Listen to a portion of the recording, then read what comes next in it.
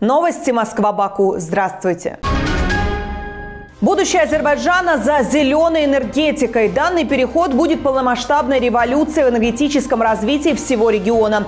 Об этом заявил президент Азербайджана Ильхам Алиев накануне на церемонии открытия в Баку Городакской солнечной электростанции. Сейчас, учитывая, что мы по-прежнему богаты ископаемыми ресурсами, мы переходим к зеленой повестке дня. Это осознанный выбор. Это наш вклад не только в будущее развитие Азербайджана, но и в решение вопросов, связанных с изменением климата. Открывая крупнейшую солнечную электростанцию, станцию в Каспийском регионе СНГ Ильхам Алиев отметил, что Азербайджан не ограничивает программу по возобновляемой энергетике лишь электростанциями, работающими за счет энергии солнца. В будущем регион будет получать энергию ветра и воды. Алиев отметил, что Карабах, Восточный Зангизур и Нахчеван уже объявлены зоной зеленой энергии в стране. Также Ильхам Алиев обратил внимание, что зеленая энергетика позволяет Азербайджану развивать не нефтяной сектор, чтобы снизить зависимость экономики от нефти и газа. Глава государства отметил, отметил, что сегодня Азербайджан поставляет электроэнергию на международные рынки, и в этой связи есть дальнейшие планы. В частности, Алиев напомнил, что в декабре прошлого года Азербайджан подписал соглашение в рамках создания проекта энергетического коридора Каспий-Европейский Союз. Глава государства отметил, что в рамках проекта сегодня готовится технико-экономическое обоснование по поставкам электричества по дну Черного моря в Европу. Также заявил Алиев, в ближайшие годы Азербайджан намерен экспортировать зеленый водород. Напомним, накануне Ильхам Алиев вместе с министрами правительства Объединенных Арабских Эмиратов принял участие в церемонии открытия Городакской солнечной электростанции, проект которой реализован совместно с компанией «Маздар» из Арабских Эмиратов. Еще две солнечные электростанции будут построены в Невчалинском и Белисуварском районах страны. Встреча премьер-министров Азербайджана и Армении Али Асадова Никола Пашиняна при посредничестве главы правительства Грузии Ираклия Гарибашвили прошла накануне во дворце Мухрани под Тбилиси. Встреча прошла на полях четвертого международного форума «Шелковый путь». Как сообщают СМИ, переговоры длились несколько часов. Подробностей не приводятся. После переговоров премьеры вместе отправились на гала-ужин и сели за одним столом.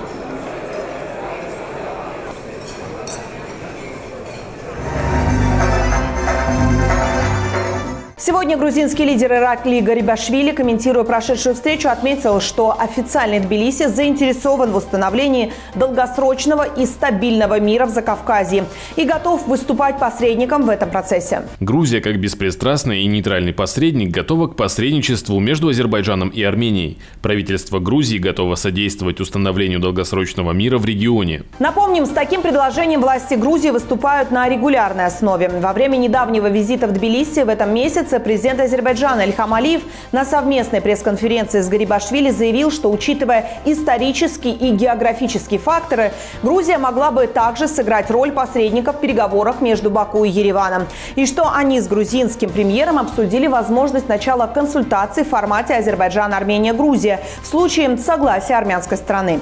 Напомним, что Тбилиси уже посредничал между Баку и Ереваном. Так, в июне 2021 года при посредничестве Грузии Армения передала Азербайджану азербайджанской стороне карты минных полей. А власти Азербайджана освободили 15 армянских пленных. Позже премьер Грузии выступил с инициативой мирного соседства. Предложил Баку и Еревану создать региональную платформу неформального диалога. Сегодня же премьер-министры Азербайджана и Грузии Али Асадов и Иракли Гарибашвили заложили в грузинской столице фундамент нового здания Тбилисского государственного азербайджанского драматического театра имени Гейдара Алиева. Церемония приурочена к столетию со дня рождения общенационального лидера лидера Азербайджана. Ереван рассчитывает на азербайджанский газ после урегулирования всех политических разногласий между Арменией и Азербайджаном. Об этом заявил заместитель министра территориального управления инфраструктуры Республики Армения Акоп Варданян на полях Тбилисского международного форума «Шелковый путь». Замминистра обратил внимание на то, что в советский период был подобный опыт. Армения получала газ из Азербайджана по трем газопроводам. Прекращение газа электроснабжения из Азербайджана в Армению из-за конфликта стало шокирующим событием для газовой и электроэнергетической энергетической системы Армении. В советское время мы покупали газ у Азербайджана, и тогда мы начали строительство нового газопровода через Грузию для поставок газа в нашу страну. Надеюсь, что в нашем регионе наступит мир, и мы сможем сотрудничать и диверсифицировать наши энергосистемы, как в те времена. Армянский чиновник подчеркнул, что поскольку Армения находится в центре региона, открытие ее границ с восточными и западными соседями может создать большие возможности. Он отметил, что Армения могла бы играть роль в транспортировке и экспорте электроэнергии из Азербайджана в Турцию и в обратном направлении, а также экспортировать электроэнергию в обе страны. По утверждению Акопа Варданяна, Армения также может стать самым коротким коридором не только для Азербайджана и Турции, но и для Грузии и Ирана. Отметим, что на сегодняшний день Армения получает газ из России и Ирана. Индия изучает возможность поставки Армении новой партии оружия и боеприпасов. Об этом сообщает индийская газета The Economic Times со ссылкой на источники. По данным издания, высокопоставленный представитель Армении провел в индийской столице Нью-Дели переговоры о поставках вооружений, которые будут осуществляться на основе контрактов, подписанных двумя странами еще в сентябре 2022 года. Сумма контрактов составляет 20 миллиардов рупий, это свыше 240 миллионов долларов.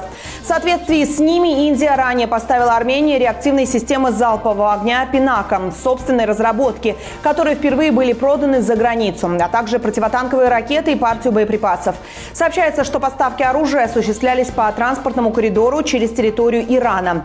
Ранее другое индийское издание Indian Defense Research Wing заявило, что в начале августа оборонная компания Индии Бхарат Фордж ЛТД передала Армении 6 буксируемых гаубиц «Атакс» в рамках контракта на сумму 155,5 миллионов долларов. Сделка предусматривает поставку поставку Армении в течение трех лет 90 артиллерийских орудий этого типа. Добавим, что на днях 23 октября глава Минобороны Армении Сурен Папикян и министр вооруженных сил Франции Себастьян Лекарню подписали в Париже соглашение о военном сотрудничестве. Соглашение стало первым в истории, которое Южно-Кавказская республика заключила со страной-членом НАТО. Документ подразумевает поставки Парижем Армении трех радиолокационных систем GM-200 от французской оборонной группы ТЕЛС, а также переносных зенитно-ракетных ракетных комплексов «Мистраль», объемы поставок которых не называются. Кроме того, Франция направит в Армению военного советника. Париж займется подготовкой армянского спецназа, а также снайперов для улучшения боевых навыков в горных условиях. В начале октября, когда стало известно о намерении Франции начать поставки Армении вооружения, президент Азербайджана Ильхам Алиев заявил, что таким образом Париж может стать виновником нового возможного противостояния между Ереваном и Баку. Ранее, поясняя свое военное сотрудничество с Францией, власти Армении заявили, что Ереван ищет нового партнера по безопасности, поскольку, по их утверждению, было ошибкой полагаться в этом вопросе исключительно на одну страну, а именно Россию. А на этом у меня все. Еще больше информации на портале москвабаку.ру и в нашем телеграм-канале. Ссылка в описании под этим видео. До свидания.